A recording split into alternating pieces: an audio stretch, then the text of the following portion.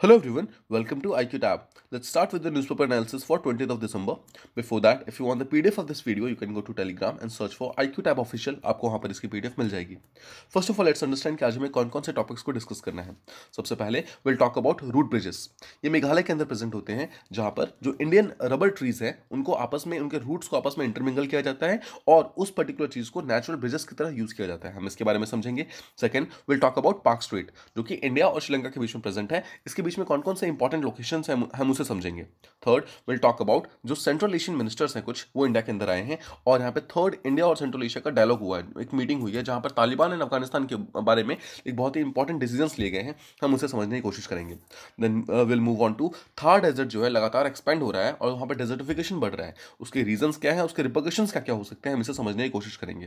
Then will move to कि winters के time में जो बर्ड माइग्रेशन है इंडिया के अंदर, इस साल कम क्यों हो गया है? द स्टेट्स लाइक कर्नाटका जहाँ पर one of the highest bird migration होता था विंटर्स के टाइम में, अचानक से बहुत कम क्यों हो गया पिछले कुछ सालों में स्पेशली 2021 के अंदर, हम इसके फैक्टर्स को समझने की कोशिश करेंगे। And finally will move on to Indian desert cat ये एक टाइप का न्यू स्पीसीज है जो कि एमपी के अंदर पहली बार पाया गया है। हम इसे समझेंगे कि एक्जैक्टली इसका फीचर्स क्या क्या है और कैसे इसको कंजर्व किया जा सकता है। Let's move on to the first topic that we have to discuss it is about root bridges now let's understand सबसे पहले आपको ध्यान रखना है they are called as living root bridges and they are also called as Jingkieng Jri ठीक है? तो आप देख सकते हैं, किसी भी एग्जामिनेशन में आपको रूट ब्रिजेस की जगह इस पर्टिकुलर यू नो वर्ड को यूज़ किया जा सकता है कि जिंग क्रिंग जी क्या होता है या फिर ये कहाँ प्रेजेंट होता है। आपको ध्यान रखना है they are found in Meghalaya ये एरियल ब्रिजेस होते हैं। नाउ लेट्स अंडरस्टैंड कि एरियल ब्रिजेस क्या होते हैं। आपको ध्यान रखना है, जो रूट्स होते हैं, वो नॉर्मली तो आपको जैसे जानते हैं कि सॉइल के अंदर होते हैं राइट ज़मीन के नीचे पाए जाते हैं बट जब वो पर्टिकुलर रूट बाहर हवा में आ जाए and they you know form some time of structure then they are called as aerial bridges ठीक है? जो रूट्स ज़मीन के बाहर है, हवा में है they are called as aerial roots और जब वही रूट्स जो है ब्रिजेस फॉर्म करते हैं आपस में इंटरमंगल होकर तो they are called as aerial bridges जैसे कि आप इस फ़ोटो में देख सकते हो, देख सकते हैं आप यहाँ पर बहुत सारी रूट्स जो है आपस में इंटरमिंगल हुई हैं and they have formed a bridge जिससे कि लोग इजिली क्रॉस ओवर कर सकते हैं, किसी भी नीचे स्ट्रीम वगैरह या फिर रिवर वगैरह नीचे फ्लो कर रही हो तो ठीक? ये रूट ब्रिज को जो बनाने का जो नॉलेज है that is a traditional tribal knowledge जो बेसिकली खासी पीपल जो है, जो कि मेघालय के अंदर रहते हैं, उनके पास है। जैसा आप जानते हैं, मेघालय के अंदर टोटल तीन मेजर कम्युनिटीज रहती हैं, गारो, खासी एंड जैंतिया इसमें जो खासी पीपल है they are the ones they are the ones जिनके पास ट्रेडिशनल नॉलेज है रूट ब्रिजेस को बनाने के लिए, ठीक है? अब यहाँ पर ब्रिजेस को लेटरली बनाया जाता है हमेशा किसी स्ट्रीम या फिर रिवर के ऊपर, ठीक है? लेटरल का मतलब होता है इस तरीके से, यानी कि, ठीक है हॉरिजॉन्टली वर्टिकल का मतलब होता है ऊपर नीचे और लेटरल का मतलब होता है साइड बाई साइड ठीक है? तो ये लेटरली बनाया जाता है। इसकी टोटल जो विथ होती है इट इज़ अराउंड 15 से 250 फीट तक की इसकी लेंथ होती है and it is built over centuries आपको ध्यान रखना है। जैसे आप फ़ोटो में देख सकते हैं, इसको बनने में कितने ही यू नो सेंचुरीज लग जाते हैं। मतलब बहुत ज़्यादा टाइम लगता है। आपस में रूट्स मतलब यू नो नेचुरली ग्रो करती है। इसके, यहाँ पर कोई भी आर्टिफिशियल चीज़ यूज़ नहीं की जाती है। इसके अलावा ये करेक्टर से काम करता है for generation in the Indian state of Meghalaya तो आपको सबसे पहले तो ये ध्यान रखना है कि root bridges are found in Meghalaya जहाँ पर इंडियन रबर ट्रीज जो है, उनका यू नो यूज़ करके इन रूट इन ब्रिजेस को बनाया जाता है। ना ये ब्रिजेस जो है they are primarily they are a means of to cross streams and rivers जैसे हमने इस फ़ोटो में देखा देखिए नीचे से एक स्ट्रीम या रिवर्स जो uh, मतलब जा रही होती है उसको पार करने के लिए ऊपर जो ब्रिज बनाया जाता है उस ब्रिज को बोला जाता है नेचुरल ब्रिजेस या फिर रूट ब्रिजेस जो कि रूट से बनाया जाता है। Now they have also been you know some of the world famous tourist attraction obviously आप देख सकते हैं कितना यूनिक चीज़ है। इतना यूनिकनेस होने के कारण ये बहुत ही इंपॉर्टेंट टूरिस्ट अट्रैक्शन भी है। दो बहुत ही जो पॉपुलर टूरिस्ट स्पॉट्स हैं मेघालय के अंदर। फ़र्स्ट इज़ इन रिवाई जहाँ पर रिवाई रूट ब्रिज है एंड सेकंड इज़ उमशियांग जहाँ पर उमशियांग में डबल डेकर ब्रिज है। आप देख सकते हैं यहाँ पर। First is Riwai this is in Riwai ये रिवाई का ब्रिज है जो कि बहुत इंपॉर्टेंट टूरिस्ट अट्रैक्शन बन चुका है। एंड दिस इज़ उमशियांग में। उमशियांग में देख सकते हैं आप डबल डेकर ब्रिज बन चुका है। मतलब कि एक टाइम पे पर्सन यहाँ पर भी और यहाँ पर भी। दोनों ही यू नो जगहों पर ट्रैवल कर सकते हैं। तो ये एक्चुअली तो शो करता है इसकी स्ट्रेंथ को। कि मतलब कितनी ज़्यादा स्ट्रेंथ है कि एक बार में ये मल्टीपल यू नो पीपल को एक साथ में कैरी कर सकता है। और इसके बावजूद ये ज़्यादा डैमेज नहीं हुआ है। होप आपको समझ आ गया होगा। लेकिन लगातार टूरिस्ट अट्रैक्शन बढ़ने के कारण, लगातार यहाँ पर पॉपुलेशन बढ़ने के कारण क्या हुआ है? These bridges have started getting affected ठीक है? यहाँ पर भी अफेक्ट यू नो चीज़ों को अफेक्ट होना स्टार्ट हो गया है। बिकॉज़ यहाँ पर यू नो बहुत सारे इंजीनियर्स वगैरह जो मॉडर्न आर्किटेक्चर को यहाँ पर लेकर आ गए हैं। जैसा आप देखिए जैसा आप देख सकते हैं कि अभी तक जितने भी लिविंग रूट ब्रिजेस थे, वो सबके सब नेचुरली बनाए जाते थे। बट यहाँ पर कुछ मॉडर्न आर्किटेक्चर्स वगैरह को इंक्लूड किया गया है इस पर्टिकुलर ब्रिजेस के अंदर। जैसे कुछ कॉन्क्रीट के फुटपाथ्स बना दिए गए हैं। आसपास में कुछ बिल्डिंग्स वगैरह बनाए गए हैं। जिसके कारण क्या हुआ है? इसकी स्ट्रेंथ थोड़ी कम हो गई है और इसके अंदर क्रैक्स वगैरह आने स्टार्ट हो गए हैं ठीक है? इसके अलावा देखिए यहाँ पर कुछ रिसर्च वगैरह किए गए हैं अभी रिसेंटली इसके अंदर लिविंग रूट ब्रिजेस के अंदर जिससे कि जिसमें ये प्रपोज किया जा रहा है कि अगर you uh, know you know, आगे ज़रूरत पड़े तो हम इसको इंटीग्रेट कर देंगे इन मॉडर्न आर्किटेक्चर मतलब जो भी मॉडर्न आर्किटेक्चर जो हम ब्रिजेस वगैरह बनाते हैं वहाँ पर हम लिविंग रूट ब्रिजेस को भी इंक्लूड करेंगे ताकि दोनों तरीके से यानी कि जो आर्टिफिशियल है प्लस नेचुरल है दोनों को साथ में मिलकर ले चल सकें ताकि कोई भी ब्रिजेस वगैरह फिर कोई भी हाईवे वगैरह बनाया जा रहा है वो एनवायरमेंट फ्रेंडली बन सके। रिपोर्ट से भी बोल रहे हैं कि इन ब्रिजेस को यूज़ किया जा सकता है in future botanical architecture projects. Future में कोई भी जो बोटानिकल आर्किटेक्चर प्रोजेक्ट्स आएगा, अर्बन कॉन्टेक्स में, जैसे कि अभी हम स्मार्ट सिटी प्रोग्राम की बात कर रहे हैं तो हो सकता है कि स्मार्ट सिटी में आगे जाकर लिविंग रूट ब्रिजेस को या फिर डिफरेंट टेक्निक्स को यूज़ किया जा सकते हैं। आपको ध्यान रखना है, अभी ऐसा कुछ भी नहीं किया गया अभी सिर्फ़ प्रपोज है। अभी ऐसा कोई चीज़ किया नहीं गया है। Now they are built by using traditional techniques of Khasi people जैसा हमने ऑलरेडी डिस्कस कर लिया। In the long term it can also help in better adaptation to the impact of climate change obviously बात है देखिए, अगर हम development को काम करेंगे। डेवलपमेंट का सीधा सा मतलब क्या है?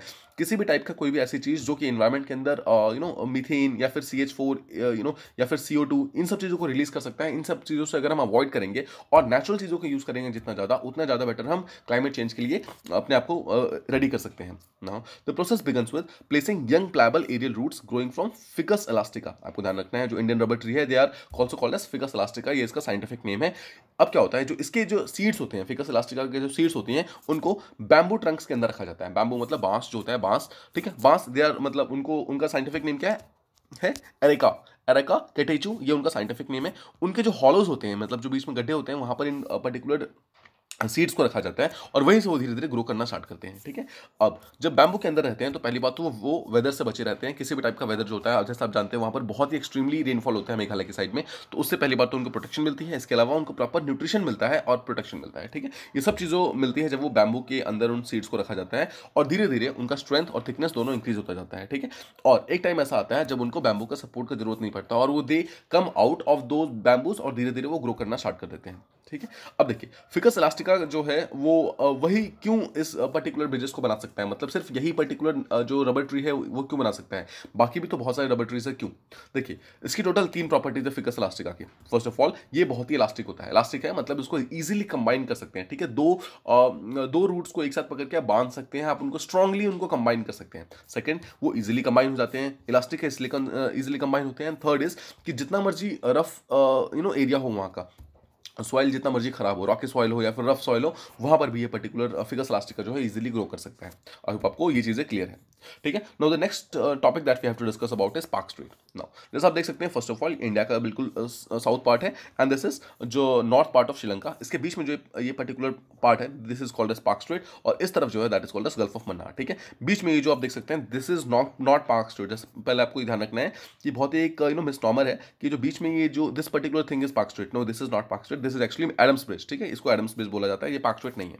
Okay let's start the Palk Strait is a strait between Tamil Nadu जो कि इंडिया के अंदर है जाफना डिस्ट्रिक्ट जो कि श्रीलंका के अंदर है, ठीक है? सो इंडियन साइड में जो नॉर्दर्न ये जो, ये ये वाला पार्ट है that is actually this that is actually you know हमारा तमिलनाडु का पार्ट है और श्रीलंका के बीच में जो यहाँ वाला पार्ट है दैट इज़ जाफना डिस्ट्रिक्ट ठीक है? ये हमारे बे ऑफ़ बंगाल और पाक बे दोनों को कंबाइन करता है, ठीक है? ये आपको ध्यान रखना हमेशा। इस तरफ़ पाक बे है, इस तरफ़ बे ऑफ़ बंगाल है, इन दोनों को चीज़ों को ये कंबाइन करता है। इसी को एक्चुअली पाक स्ट्रेट कहते हैं, ठीक है? स्ट्रेट है, जो कि दो लार्जर वाटर बॉडीज को कंबाइन कर रहा है। इसका मिनिमम डेप्थ बहुत ही कम है मतलब ज़्यादा गहरा नहीं है, सिर्फ़ नौ मीटर गहरा है ये एक पर्टिकुलर जगह पर, और सिर्फ़ एटी मीटर लॉन्ग है मतलब बहुत ज़्यादा लंबा नहीं है मतलब हंड्रेड माइल्स भी नहीं है, जैसा कि आप देख सकते हैं। ठीक है। अब, आपको हमेशा ध्यान रखना है कि इसके अंदर कुछ रिवर्स भी फ्लो करती हैं। तमिलनाडु की एक रिवर है वेगाई रिवर जो कि इसके अंदर फाइनली जाकर यू नो डिस्चार्ज करती है वाटर को अपने। तो यहाँ जाकर यू नो अपने वाटर को यहाँ पर डिस्चार्ज करती है। दैट इज़ वेगाई रिवर आपको इसके बारे में हमेशा पता होना चाहिए। अब पार्क स्ट्रेट जो नेम है, वो रॉबर्ट पार्क जो कि उस टाइम मद्रास के गवर्नर हुआ करते थे सेवनटीन के बीच में, उस टाइम उनके नाम पर रखा गया है इस पर्टिकुलर स्ट्रेट का नाम, ठीक है? तो आपको ये भी पता होना चाहिए। ना इसका यूनिक फीचर क्या है? देखते हैं पार्क स्ट्रेट का। इसका एक बहुत ही यूनिक फीचर है, इनके वेव्स के अकॉर्डिंग अगर आप यू नो नॉर्दर्न साइड में देखेंगे, यानी कि पाक इसके नॉर्दर्न साइड में देखेंगे, इस वाले पार्ट में देखेंगे तो वहाँ पर स्वेल वेव्स पाई जाती हैं और साउथ वाले पार्ट में सी वेव्स पाई जाती हैं। लेट्स अंडरस्टैंड स्वेल वेव्स क्या होती है। देखिए स्वेल वेव्स स्वेल वेव्स जो होती हैं, वो सर्फेस ग्रेविटी वेव्स होती हैं। इसका मतलब है कि एक बार, देखिए वेव्स कैसे जनरेट होती हैं? कि जो विंड होता है विंड एक पर्टिकुलर लेवल ऑफ़ वाटर को लेकर ऊपर उठाता है, ठीक है? विंड के स्पीड के कारण पानी ऊपर उठता है, फिर नीचे गिरता है। फिर से विंड उसको ऊपर उठाता है, फिर नीचे उठता है, ठीक है? अब उसके बाद क्या होता है? ऑटोमेटिकली उसके अंदर एक मूवमेंट आ जाती है, उसके अंदर ऑटोमेटिकली एक मैकेनिज्म आ जाता है, जिसके कारण वो ऑटोमेटिकली ग्रो करना स्टार्ट कर देता है। यही होती है स्वेल वेव्स स्वेल वेव्स ऐसी वेव्स होती हैं जिनको आगे जाकर विंड की ज़रूरत नहीं पड़ती, वो ऑटोमेटिकली खुद को सस्टेन कर सकती हैं और आगे बढ़ सकती हैं। They are called swell waves I hope आपको समझ आ रहा होगा। They are also called surface gravity waves जहाँ पर उनको विंड की ज़रूरत नहीं पड़ती है। वो सर्फेस की ग्रेविटी से ही ऊपर नीचे ऊपर नीचे होना स्टार्ट कर देते हैं, यानी कि वेव्स फॉर्म करना स्टार्ट करते हैं।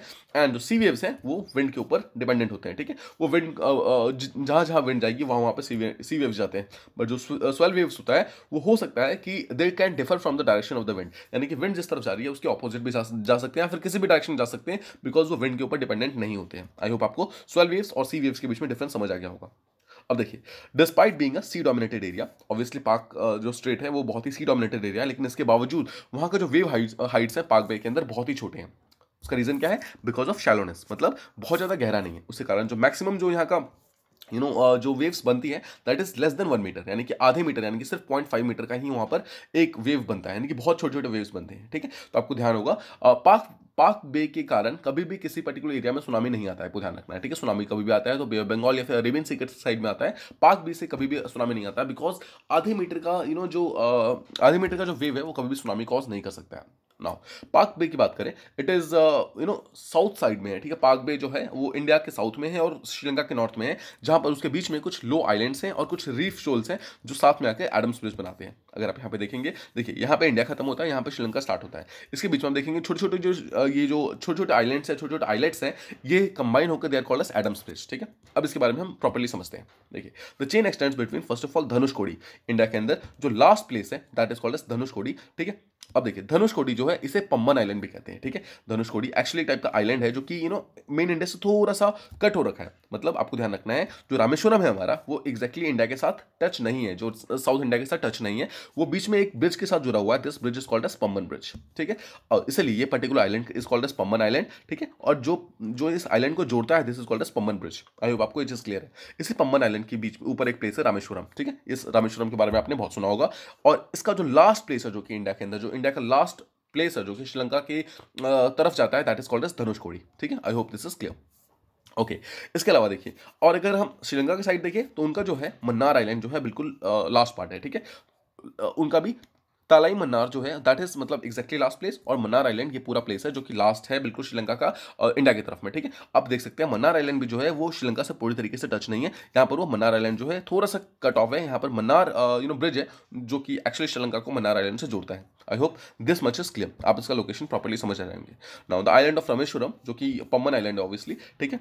Is link to the Indian mainland by Pamban bridge जिसके बारे में हमने ऑलरेडी बात की। यहाँ पर ये वाला जो है पम्बन ब्रिज है, जो कि एक्चुअली पम्बन आइलैंड को इंडियन का मेन लैंड से जोड़ता है। ठीक है? I hope this is clear okay now let's understand देखिए 1914 से पहले क्या होता है? 1914 या फिर उसके बाद क्या हुआ था?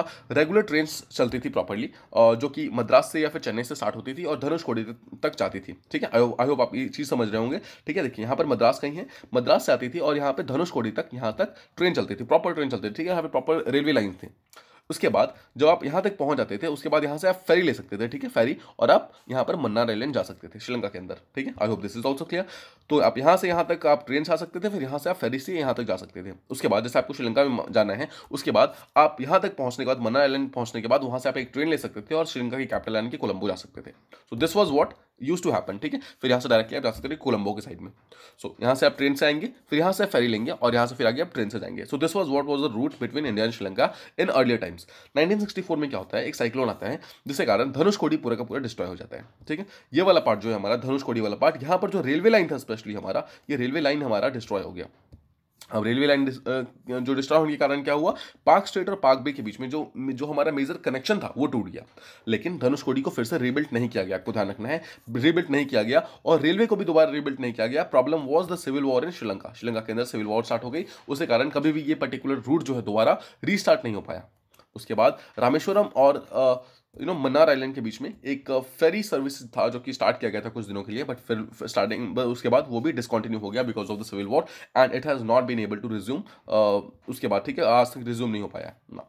The shallow waters and the reef of the strait make it difficult for the last ships to pass through तो सामने बात की इसका जो यू नो वो है बहुत ही कम है शैलोनेस बहुत ही कम है मतलब बहुत गहरा नहीं है। उसके कारण कोई भी रिवर जो कोई भी uh, कोई भी शिप वगैरह आ रही है वो ना ही इधर से इधर आ सकती है ना ही वो इधर से इधर आ सकती है ठीक है? तो बेसिकली शिप जो है इस पर्टिकुलर एरिया को क्रॉस नहीं कर सकती है। इसके कारण क्या होता है शिप्स को पूरा श्रीलंका पार करके जाना पड़ता है, घूम के जाना पड़ता है। इसलिए उन्होंने प्लानिंग किया था कि एक शिपिंग कैनाल बनाएँगे मतलब एक पर्टिकुलर ऐसा कैनाल बनाएँगे जिसके अंदर हम पानी को डालेंगे ताकि शिप को इजीली उस पर्टिकुलर एरिया से हम यू नो क्रॉस करा सके, ताकि जितना हम एक्स्ट्रा टाइम और एफर्ट लगाते हैं पूरे श्रीलंका को क्रॉस करके जाने के लिए, वो कम हो सके। ये प्रपोज किया था अराउंड एटीन के अंदर ही, जब ब्रिटिश गवर्नमेंट इंडिया के अंदर थी उस टाइम इसको प्रपोज कर दिया गया था। बहुत सारे इसके लिए कमीशन भी बैठे थे बट इसको पूरी तरीके से माना नहीं गया because of the opposition opposition from the religious circles obviously बात है, आप जैसे जानते हैं कि इंडिया और श्रीलंका के बीच में जो एडम्स ब्रिज है that is actually a very religious thing because जो हमारे रामायण है, रामायण के अंदर, जो हमारे लॉर्ड राम थे वो जब सीता को लेने और श्रीलंका गए थे, ठीक है, लंका गए थे तो उन्होंने उसी एडम ब्रिज का यूज़ किया था। तो इसलिए ये रिलीजियस पॉइंट ऑफ़ व्यू से बहुत ही इंपॉर्टेंट है।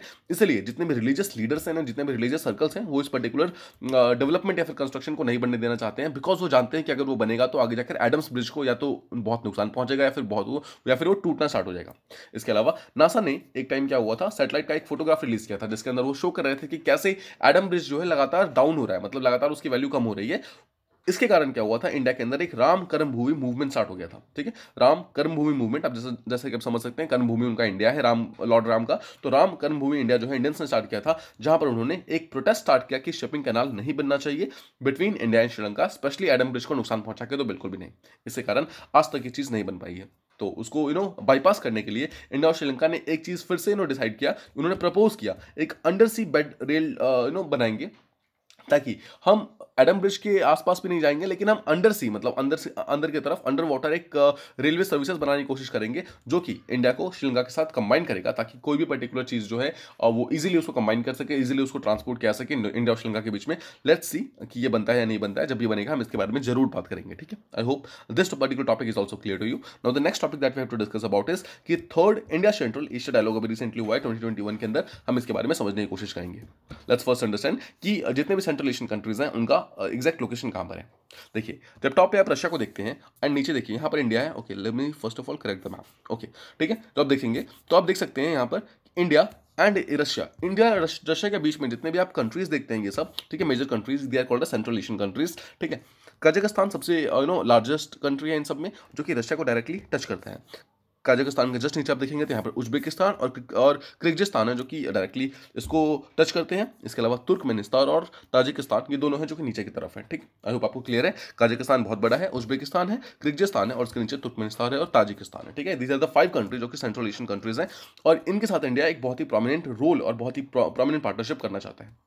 लेट्स अंडरस्टैंड दिस इंडिया और सेंट्रल नेशन नेशन के बीच में अभी रिसेंटली जो समिट हुई है या फिर जो डायलॉग हुई है, उसके अंदर ये डिसाइड किया गया है कि हर एक कंट्री ने कंसेंसस शो किया है। कंसेंसस का मतलब है सबने माना है, सहमति दी है कि अफ़गानिस्तान के ऊपर यू नो अफ़गानिस्तान के लिए कुछ इंपॉर्टेंट स्टेप्स लेने की ज़रूरत है, जहाँ पर उन्होंने बोला है कि चाबहार पोर्ट यानी कि जो ईरान के अंदर जो इंडिया का चाबहार पोर्ट है, उसको यूज़ करके सेंट्रल एशियन कंट्रीज़ भी अगर कोई चाहे तो सामान वगैरह शिपमेंट वगैरह भेज सकता है, ठीक है? और प्लस उस पर्टिकुलर चाबहार रूट को इंडिया और इंडिया और सेंट्रल एशियन कंट्रीज़ दोनों ही यूज़ करेंगे ट्रेड के लिए। आई होप आई होप देख सकते हैं आप देखिए इंडिया जो है डायरेक्टली इंडिया इंडिया को अगर आप देखेंगे तो India directly Central Asian countries को टच नहीं करता है। तो उसके डायरेक्टली बॉर्डर नहीं है। अगर बॉर्डर नहीं है तो क्या होता है, यहाँ पर डायरेक्टली इंडिया ट्रेड नहीं कर सकता है सेंट्रल एशियन कंट्री के साथ। तो उसको जाना होगा तो पाकिस्तान के थ्रू जाना होगा बट पाकिस्तान ट्रांजिट अलाउड नहीं करता है इंडिया को। मतलब किसी और कंट्री में जाने से अलाउ नहीं करता है, अगर वो पाकिस्तान के थ्रू जा रहा हो। तो यहाँ पर क्या हुआ है इंडिया ने सोचा है कि हम जाएँगे ईरान के through and this will be the route ठीक है?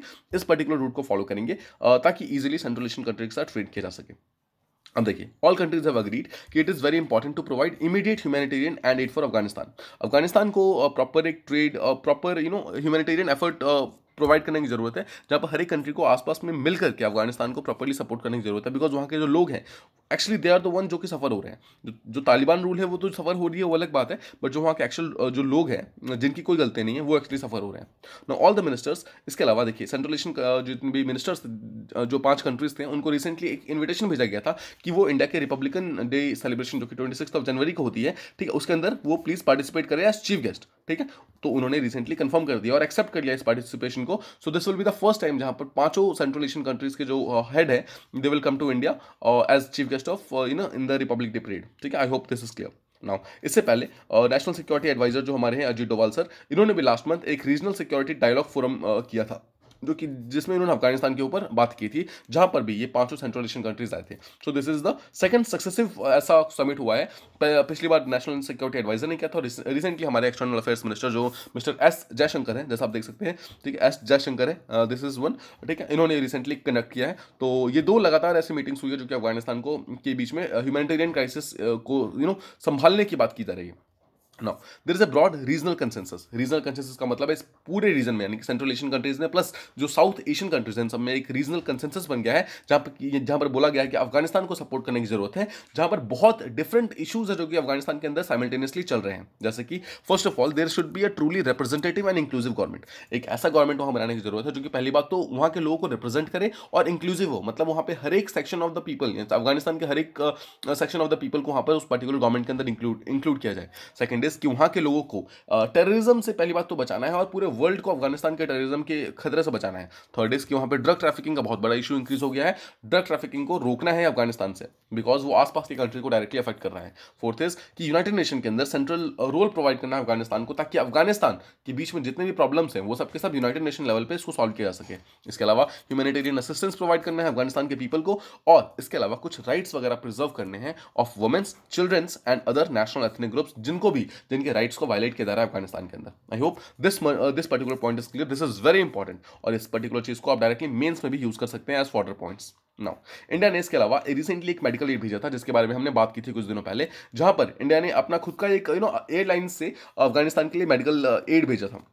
लेकिन अभी इंडिया पाकिस्तान से डिस्कस ही कर रहा है कि इंडिया जो है फिफ्टी थाउज़ेंड टन वीट जो है, वो भेजना चाहता है अफ़गानिस्तान में, लेकिन एज पाकिस्तान ट्रांसलेट अलाउड नहीं करता है इंडिया को तो उसके, उससे, उसके साथ अभी भी डिस्कशन चल रहा है और अफ़गानिस्तान के लोग जो है, अभी भी इस पर्टिकुलर एड का वेट कर रहे हैं।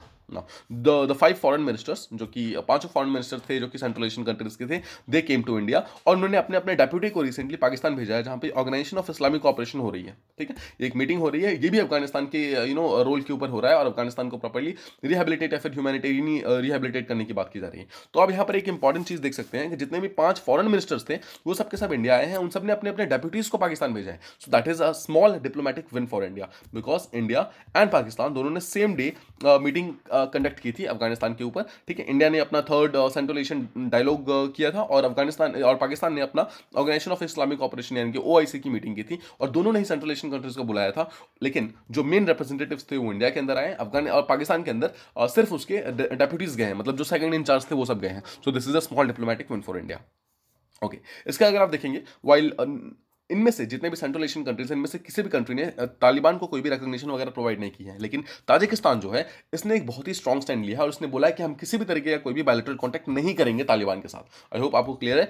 ताजिकिस्तान जो है, आप यहाँ पर देख सकते हैं दिस इज़ ताजिकिस्तान ठीक है, जो सबसे नीचे है, इसने बोला है कि हम अफ़गानिस्तान के साथ कोई भी डायरेक्ट कॉन्टैक्ट नहीं करेंगे बिकॉज़ पहली बात तो इनका बॉर्डर टच होता है डायरेक्टली और जितने भी ट्रक ट्रैफिकिंग का इशू है ताजिकिस्तान में बहुत ज़्यादा बढ़ता जा रहा है। इस चीज़ को ध्यान में रखते हुए ताजिकिस्तान ने पूरी तरीके से बायोलेटरल कॉन्टैक्ट करने से मना कर दिया है। पर जो बाकी चार कंट्रीज़ हैं Turkmenistan Uzbekistan Kazakhstan and Kyrgyzstan, इन चारों ने ही अपने अपने मिशन को ओपन कर दिया है इन काबुल यानी कि अफ़गानिस्तान में और उन्होंने मिनिस्ट्री लेवल मीटिंग्स वगैरह भी एक्सटेंड करनी स्टार्ट कर दी है, ठीक है? So this is what you know जो अभी सर्कमस्टांसेस है सेंट्रल एशियन कंट्री के साथ। इसके अलावा अगर इंडिया की बात करें इंडिया ने तालिबान लीडर से डायरेक्टली कोई मीटिंग नहीं की है बट तब भी इनडायरेक्टली वो दो बार तालिबान लीडर से मिला है, एक बार दोहा के अंदर और एक बार मॉस्को के अंदर जो रिसेंटली मीटिंग हुई थी, उसके अंदर इंडिया दो बार मिल चुका है ऑलरेडी इंडिया और सेंट्रल एशियन की ट्रेड की बात करें तो अभी बहुत ज़्यादा बड़ा नहीं है, बहुत ही स्मॉल है, जहाँ पर सिर्फ़ दो सिर्फ़ दो बिलियन डॉलर्स का ही ट्रेड इंडिया और सेंट्रल एशियन के बीच में होता है। उसमें से भी मेजोरिटी वही है जो कि काजाकिस्तान इंडिया को ऑयल एक्सपोर्ट करता है दैट इज़ तो यानी कि आप देख सकते हैं, इंडिया के फेवर में ये ट्रेड बहुत ज़्यादा इनबैलेंस्ड है। ठीक है, इंडिया के तरफ़ से जो बहुत ज़्यादा पैसा है, वो कजाकिस्तान में जाता है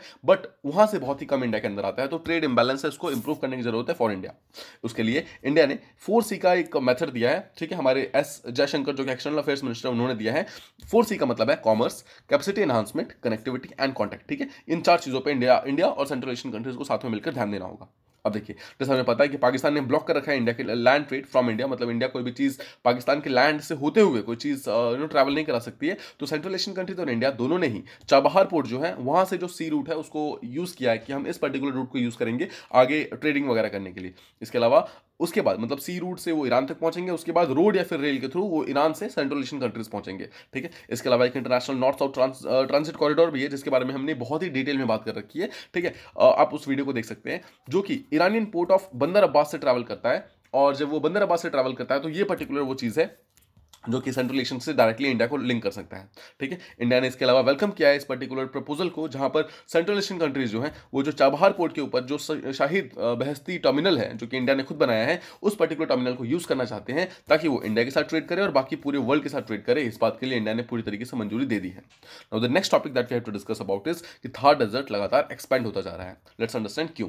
पहली बात तो आपको पता होना चाहिए कि थार जो है वर्ल्ड का ninth largest hot subtropical desert है। देखिए नाइन्थ लार्जेस्ट सबसे पहले आपको ध्यान रखना है इसके अलावा हॉट है हॉट डेजर्ट है और सब ट्रॉपिकल डेजर्ट है, जैसा हमें पता है। लेट्स फ़र्स्ट अंडरस्टैंड कि और कौन कौन से डेजर्ट है जो कि पूरे वर्ल्ड के अंदर प्रेजेंट है। आप यहाँ पर मैप देख सकते हैं और यहाँ पर इस चीज़ को लिस्ट लिस्ट देख सकते हैं। लेट्स अंडरस्टैंड बारी बारी से first is great great Victoria desert जो है, जो कि ऑस्ट्रेलिया के अंदर प्रेजेंट है, जो कि हॉट डेजर्ट है। आप यहाँ पर देख सकते हैं this is Great Victoria Desert और इसके जस्ट ऊपर आप देखेंगे, यहाँ पर गिप्सन डेजर्ट है, जो भी ऑस्ट्रेलिया के अंदर प्रेजेंट है और यहाँ पर ग्रेट सैंडी डेजर्ट है, ये भी ऑस्ट्रेलिया के अंदर प्रेजेंट है। तो आप देख सकते हैं ऑस्ट्रेलिया के अंदर टोटल तीन ऐसे डेजर्ट्स हैं जो कि प्रेजेंट है, जिसमें ग्रेट विक्टोरिया डेजर्ट जो सबसे बड़ा है and these are all hot deserts ठीक है? आपको यह ध्यान रखना है। इसके अलावा अरेबियन डेजर्ट, जो कि अरेबियन पेनिनसुला के अंदर प्रेजेंट है, और ये भी एक हॉट डेजर्ट है, इसके बारे में देखिए। दिस इज़ अरेबियन पेनिनसुला, जहाँ पर सऊदी अरेबिया, ठीक है एंड बाकी कंट्रीज़ जो है, वो यहाँ पे यहाँ पे आसपास में रहती है। इस पूरे एरिया को एक डेजर्ट ने घेर रखा है that is called actually Arabian desert और ये एक हॉट डेजर्ट है। ये भी आपको ध्यान रखना है, ठीक है। नेक्स्ट इज़ देखिए, कालाहारी डेजर्ट जो कि बॉट्सवाना नामीबिया के अंदर प्रेजेंट है। अब देख सकते हैं, यहाँ पे कालाहारी है, जबकि अफ्रीका के बिल्कुल नीचे बॉट्सवाना जो प्रेजेंट है, वहाँ पर प्रेजेंट है, और ये भी एक हॉट डेजर्ट है। Okay okay. इसके अलावा देखिए नेक्स्ट इज़ मुजावे डेजर्ट जो कि यूएसए के अंदर प्रेजेंट है। ना यहाँ पर आप देख सकते हैं मुजावे डेजर्ट बिल्कुल यूएसए की वेस्टर्न स्ट्रेच के अंदर प्रेजेंट है, ठीक है? ओके इसके अलावा देखिए the fifth desert is Sahara desert जो कि अफ्रीका के अंदर प्रेजेंट है। यहाँ देख सकते हैं आप सहारा डेजर्ट जो कि अफ्रीका के इस पूरे स्ट्रेच को डायरेक्टली कवर करता है, और ये भी एक हॉट डेजर्ट है। इसके अलावा थार डेजर्ट ये भी एक हॉट डेजर्ट है, और इंडिया और पाकिस्तान दोनों को ये ट्रैवल करता है ठीक है दोनों कवर करता है। दिस इज़ थार डेजर्ट जो कि इंडिया और पाकिस्तान दोनों को कवर कर रहा है, ठीक है? आपको ध्यान रखना है थार डेजर्ट सिर्फ़ इंडिया के अंदर नहीं है पाकिस्तान के अंदर भी प्रेजेंट है। इसके अलावा है एटाकामा डेजर्ट जो कि अर्जेंटीना बोलीविया चाइना और पेरू इन सबको डायरेक्टली टच करता है, ठीक है? This is at Atacama desert जो कि साउथ अमेरिका के अंदर प्रेजेंट है, और ये भी एक्चुअली एक हॉट डेजर्ट है। अब यहाँ से हम चार कोल्ड डेजर्ट के बारे में देखते हैं first is Gobi second is Taklamakan. यहाँ पर आप देखिए first is Gobi desert and यहाँ पे जस्ट आप बगल में देखेंगे दिस इज़ टकला मकान डेजर्ट ठीक है? ये दोनों ही डेजर्ट जो है बिल्कुल आसपास प्रेजेंट है और दोनों ही कोल्ड डेजर्ट है, ठीक है? आई होप ये चीज़ आप देख सकते हैं। Okay next is Patagonian desert जो कि चाइल्ड अर्जेंटीना के अंदर प्रेजेंट है। यहाँ पर देखिए पेंटागोनियन डेजर्ट ये एक कोल्ड डेजर्ट आपको ध्यान रखना है, ठीक है? एटकामा डेजर्ट एक हॉट डेजर्ट है बट पेंटागोनिया डेजर्ट जो है, ये एक कोल्ड डेजर्ट है। एंड फाइनली लद्दाख डेजर्ट जो जो इंडिया के अंदर प्रेजेंट है, आप यहाँ देख सकते हैं, ठीक है? इंडिया के जस्ट बिल्कुल टॉप पार्ट पे यहाँ पर लद्दाख डेजर्ट प्रेजेंट है, और this is also a cold desert I hope आपको जितने भी इंपॉर्टेंट डेजर्ट थे, सारे के सारे मालूम चल गया। इसके अलावा कुछ deserts like great basin deserts Chihuahuan desert जो है, जो कि यूएसए के अंदर प्रेजेंट है, ये सब इंपॉर्टेंट डेजर्ट्स है, जिसकी लोकेशन आपको एक्जैक्टली पता होनी चाहिए।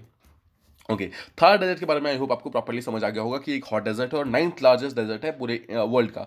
और ये एक सब सब ट्रॉपिकल डेजर्ट है, यानी कि सब ट्रॉपिकल एरियाज़ में पाया जाता है।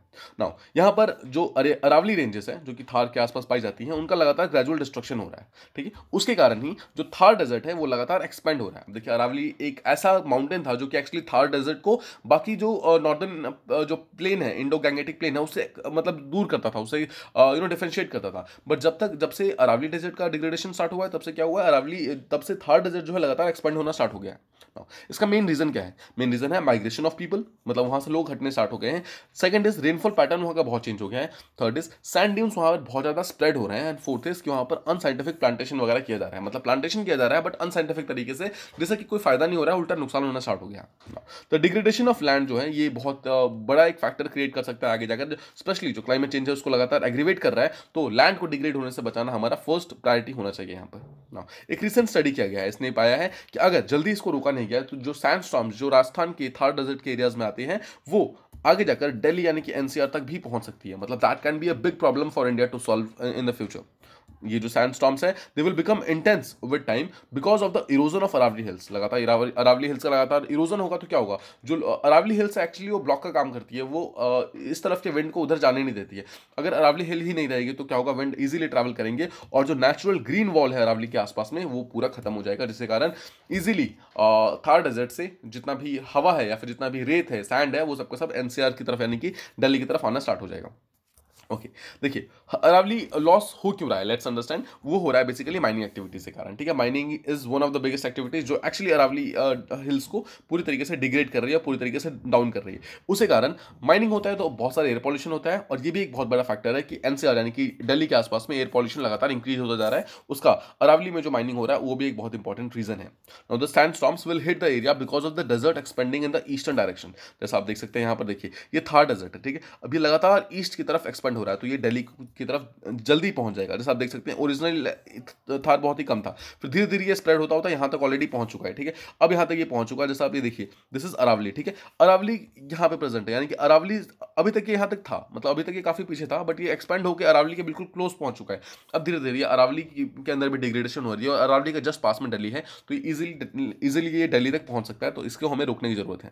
Now the problem problem is कि इंडिया ने कोई भी मैकेनिज्म अभी तक इवॉल्व नहीं किया है, जिससे कि इस पर्टिकुलर सैंड्यून का स्प्रेड हम रोक सके या फिर अरावली रेंज को फिर से हम रिस्टोर कर सके, ऐसा कुछ भी इंडिया ने नहीं किया अभी तक। इस चीज़ को करने की बहुत ज़रूरत है, वरना ये इकोटोन एरिया जो है, जो कि एक्चुअली अलग करता है थार डेजर्ट को, हमारे बाकी रेस्ट ऑफ़ नॉर्दर्न इंडिया से, ये एक्चुअली जो अरावली रेंजेस है, वही एक दिन खत्म हो जाएगा और that can be one of the you know biggest disasters जो हमारे फ्यूचर में हो सकता है। बिकॉज़ जितना भी सैंड है, जो कि वेस्टर्न राजस्थान के अंदर है, वो सारा का सारा ईस्टर्न साइड में उड़ना स्टार्ट हो जाएगा। इसके अलावा over exploitation of resources has also led to the reduction in vegetation cover और ये भी एक one of the biggest reason है कि हमने जितना रिसोर्सेज प्रेजेंट था राजस्थान के साइड में यू नो उसको इतनी बुरी तरीके से एक्सप्लॉइट कर लिया है कि वहाँ पर कुछ बचा ही नहीं है। उसके कारण जो लैंड है वो पूरे की तरह बंजर ज़मीन बन चुकी है, वो डिग्रेड हो चुकी है, उसके कारण ही वो यू नो सैंड को पूरी तरीके से स्टोर नहीं कर पा रही है। स्पेशली देखिए, राजस्थान का जो वेस्टर्न राजस्थान का जो चार डिस्ट्रिक्ट है, जो कि है बाड़मेर जैसलमेर, बीकानेर और जोधपुर। ये चार ऐसे डिस्ट्रिक्ट हैं जहाँ पर सिर्फ़ इन्हीं चार डिस्ट्रिक्ट में सोचिए थार डेजर्ट का आधे से ज़्यादा है, यानी कि 50 परसेंट से ज़्यादा थार डेजर्ट जो है इन चार डिस्ट्रिक्ट के अंदर प्रेजेंट है। अब इसके अंदर भी अगर आप जोधपुर को देखेंगे, जोधपुर के अंदर सबसे स्लो स्पीड से से डेजर्टिफिकेशन फैल रहा है। मतलब जैसा हमने देखा कि डेजर्टिफिकेशन लगातार फैल रहा है बट जो सबसे स्लो फैल रहा है दैट इज़ इन जोधपुर। उसका रीजन क्या है? उसका रीजन क्या है कि लगातार वेजिटेशन कवर वहाँ पर इंक्रीज हुई है। पिछले फोर्टी सिक्स साल यानी पिछले पचास साल में अगर हम देखेंगे कि वहाँ की जो वेजिटेशन कवर है, उसको लगातार इंक्रीज किया गया है। उसके कारण जो सैंड है, वो अराउंड फाइव परसेंट कम हो गया है। So this can be one of the biggest case studies कि जोधपुर ने एक जो मॉडल अपनाया है प्लांटेशन करके और इस पर्टिकुलर सैंड के रीजन को कम करने का that can be you know use and utilize by जो जैसलमेर है, बीकानेर है बाड़मेर है उनको भी ये चीज़ यूज़ करना चाहिए और जो बाकी जितने प्लेसेस हैं, जहाँ पर भी डेरिटिफिकेशन फैल रहा है, उस पर्टिकुलर जगहों पर इस सेम मॉडल को यूज़ करना होगा जो जोधपुर यूज़ कर रहा है, ताकि हम प्रॉपरली अपने एरियाज़ को, जो कि स्पेशली जो अभी डेजर्टिफाइड नहीं है, उसको हम बचा सकें। नाउ न्यू प्लान्स की ज़रूरत है यहाँ पर, ताकि उसको इवॉल्व कर सके, ताकि अरावली रेंजेस को पहली बात तो कंजर्व करना बहुत ज़रूरत है, ताकि जो ईस्टर्न साइड में हमारे यू नो दिल्ली के साइड में कोई भी डेजर्टिफिकेशन अगर होगा, उसको रोकने का एक ही तरीका है दैट इज़ अरावली रेंजेस को फिर से रिस्टोर करना पड़ेगा, ठीक है? इसके बारे में हमें प्रॉपरली कुछ प्लान्स वगैरह बनाने की ज़रूरत है। Now the next topic that we have to discuss about is कि what are the factors that affect the bird migration in winters देखिए इंडिया के अंदर जो विंटर माइग्रेशन है it is one of the highest in the world ना ना what are the factors जो actually इस चीज़ को अफेक्ट कर सकते हैं?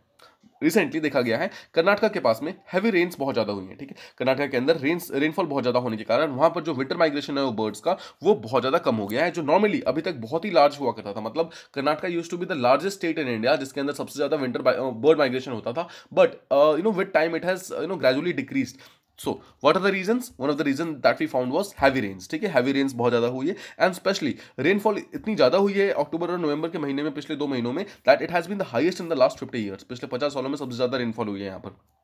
उसके कारण। बहुत सारी बर्ड की ऐसी स्पीसीज है जो कि शैलो वाटर मतलब शैलो वाटर प्रेफर करती है। उनको कम पानी चाहिए होता है बट यहाँ पर पानी इतना ज़्यादा भर गया है कि वहाँ पर वो पर्टिकुलर वो पर्टिकुलर बर्ड्स जो है वहाँ पर रह नहीं सकती है और वो they are you know moving for a new places ठीक है? वो न्यू सुटेबल हैबिटेट्स ढूंढ रही है जहाँ पर वो स्पेशली मार्शियल लैंड जहाँ पर कम पानी हो, जहाँ पर जाकर वो ईजिली अपना हैबिटेट वगैरह बसा सके, ठीक है? I hope this is clear now जो विंटर माइग्रेशन है नॉर्मली अक्टूबर में स्टार्ट होता है और दिसंबर जनवरी तक रहता है और उसके बाद फेबर तक जो भी बर्ड्स होती हैं, वो वापस जाती हैं। बट यहाँ पर देखा गया है, अक्टूबर हो गया, नवंबर हो गया, दिसंबर हो गया but still we are waiting for those winter birds जो कि बर्ड्स माइग्रेट करती हैं we are still waiting for those कि वो इंडिया में आएँगे but they are not coming here now the bar headed geese यहाँ पर जो बार हेडेड गीज है, एक टाइप के स्पेशल बर्ड्स होते हैं, जो हिमालय को पूरी तरीके से पार करके, उसके बाद चाइना को पार करके मंगोलिया को पार करके, उसके बाद वो इंडिया में आते थे और कर्नाटका में आकर वो प्रॉपर अपना यू नो ब्रीडिंग करते थे, यहाँ पर आके वो अपना समय बिताते थे बिकॉज़ वहाँ पर बहुत ज़्यादा ठंड होती है विंटर्स के टाइम में तो वो मूव करके यहाँ पर आ जाते हैं।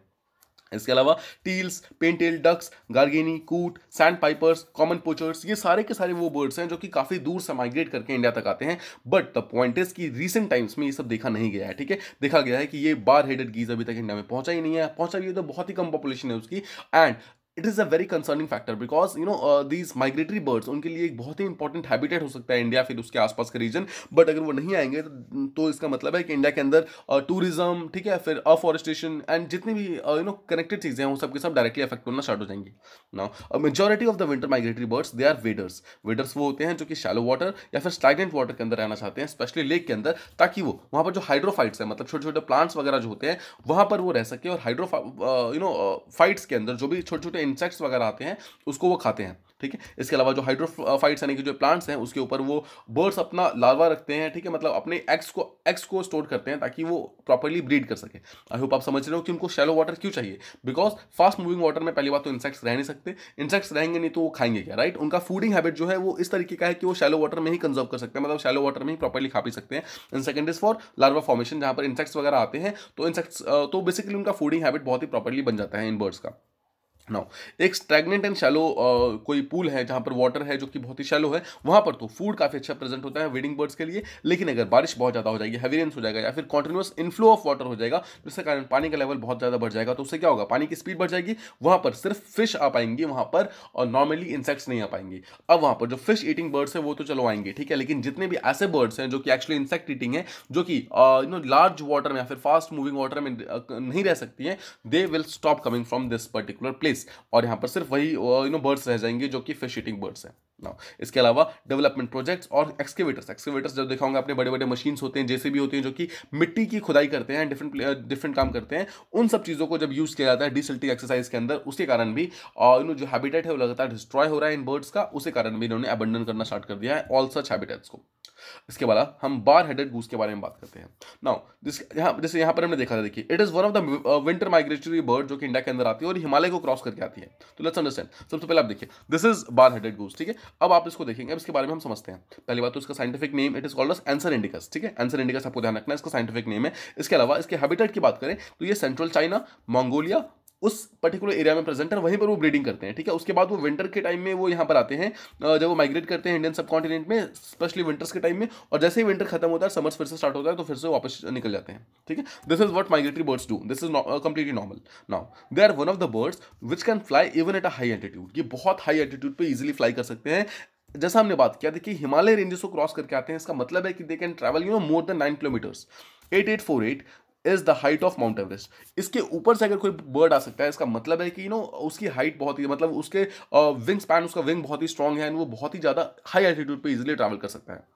नाउ आपको ध्यान रखना है हाई एल्टीट्यूड पर ट्रैवल करने के लिए क्या क्या चीज़ें ज़रूरत है? सबसे पहली बात तो विंग्स बहुत ही स्ट्रांग होनी चाहिए। और सेकेंड चीज़ उनका जो you you know know, oxygen consumption का लेवल है स्पेशली हाइपोक्सिया की कंडीशन में, यानी कि ऐसे कंडीशंस में जहाँ पर ऑक्सीजन बहुत ही कम प्रेजेंट है, ऐसे टाइम में उन पर्टिकुलर बर्ड्स का जो ऑक्सीजन कंजम्पशन का लेवल है, वो बहुत ही कमाल का है। उसे कारण वो ईजिली ट्रांसपोर्ट कर सकते हैं और कंज्यूम कर सकते हैं ऑक्सीजन को, ऐसे एरियाज़ में भी जहाँ पर भी ऑक्सीजन बहुत कम प्रेजेंट है। ठीक है? अब, इसके अलावा बहुत ही सिमिलर ऐसे दिखता हुआ एक बर्ड होता है वाटरफॉल वाटरफॉल भी ऐसा होता है मतलब सेम बार हेडेड गूस की तरह ही होता है, लेकिन आपको ध्यान रखना है, उसके पास वो ऑक्सीजन की कैपेबिलिटी नहीं होती है। मतलब वो इतना ऊँचा ट्रैवल नहीं कर सकता है उतना ऊँचा वो उड़ नहीं सकता है। आयुसिन स्टेटस की बात करें it is in least concern because ये वाइडली प्रेजेंट है इंडिया के अंदर और चाइना एंड मंगोलिया के अंदर।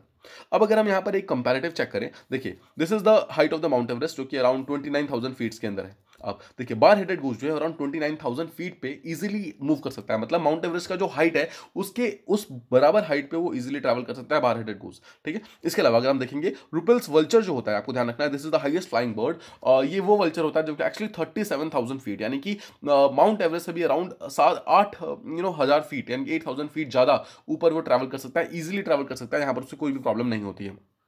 ठीक है? इसके अलावा वूपर स्वान जो होता है, वो around twenty seven thousand feet पे ट्रैवल कर सकता है एंड मलार डक जो होता है it is around twenty one thousand feet पे इजीली ट्रैवल कर सकता है। तो आप देख सकते हैं these are some of the birds जो कि एक्चुअली काफ़ी हाई एटीट्यूड पर ट्रैवल कर सकती है without any type of problems ठीक है? तो bar headed goose is one of the most जो कि माउंट एवरेस्ट की हाइट पे यानी कि around twenty nine thousand feet पे इजीली ट्रैवल कर सकता है।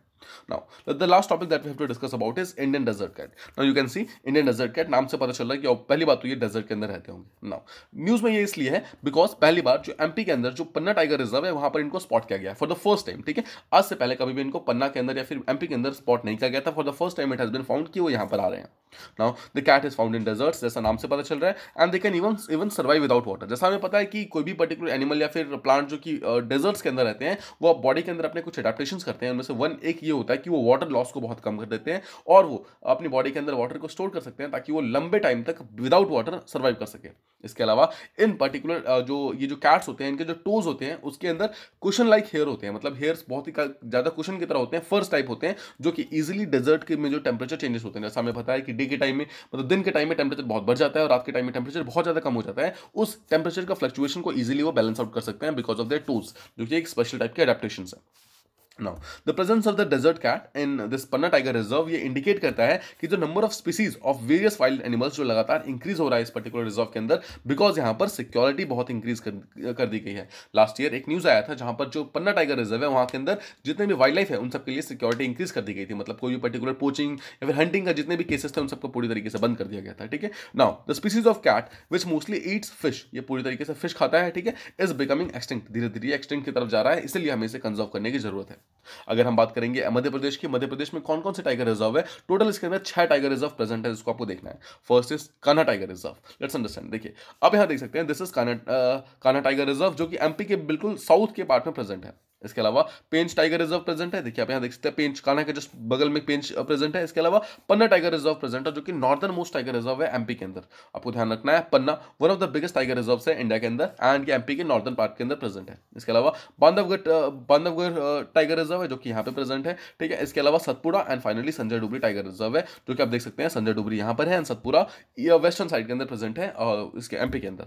आई होप आपको ये सारे टॉपिक्स प्रॉपरली क्लियर हो जाए क्लियर हो गए होंगे। जितने भी टॉपिक्स हमने प्रॉपरली ऑलरेडी डिस्कस किए हैं, अगर आपको सारे क्लियर हैं तो आप उसको रिविजन के फॉर्मेट में टूरिया फॉल्स के फॉर्म में उसके आंसर दे सकते हैं, ठीक है? फ़र्स्ट क्वेश्चन इज़ कि root bridges have been included as part of smart city project in India second is Mannar island is the last stretch of land from Indian side third is Tajikistan is a landlock country among the central Asian countries fourth is that india and central asian trade has reached around 20 billion dollars as of 2020 fifth is arabian desert is located to the north of kalahari desert. Next is bar-headed goose is the only bird which can travel at the height of Mount Everest. And the final question is that the Panna, uh, Panna Tiger Reserve is the northernmost tiger reserve in Madhya Pradesh.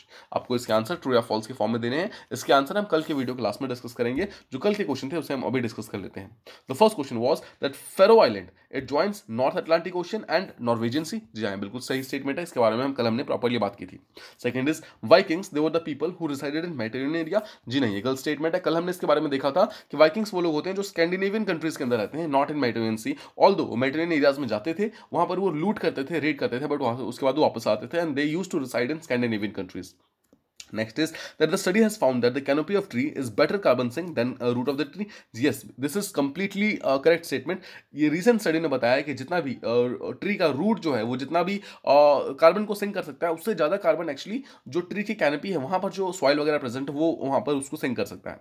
Next is कि S gene targeting method is use to find the presence of delta variant of COVID जी नहीं गलत statement है कल हमने इसके बारे में या फिर बहुत बार हमने इसके बारे में बात कर रखी है that S gene targeting method जो है वो ओमिक्रॉन वेरियंट को प्रॉपरली डिटेक्ट करता है डेल्टा को नहीं करता है। Next is north eastern states show bad air quality as compare to northern states of India जी नहीं, गलत स्टेटमेंट है। हमने कल इसके बारे में देखा था कि northern states obviously they are the worst in air quality parameters but northeastern states they are also you know becoming worse because they are on the road to becoming worse so we have to stop this particular thing कि जो north eastern states है वो धीरे धीरे जो degrade हो रहे हैं उनकी एयर क्वालिटी डिग्रेड हो रही है उससे हमें बचाना है नेक्स्ट क्वेश्चन इज़ कि iron act as a reduction agent in the body and this may cause ill effects if taken in excess yes they can uh, you know cause uh, problems if taken in excess but they are not a reduction agent first of all they are oxidation agent आपको ध्यान रखना है ये problems cause cause कर सकते हैं because वो oxidising agent है ठीक है किसी भी भी चीज़ को ऑक्सीडाइज कर सकते हैं। And the last question was that the ferritin is a compound in blood that contains haemoglobin जी नहीं this is the wrong statement it contains iron in the body ठीक है? So ferritin contains iron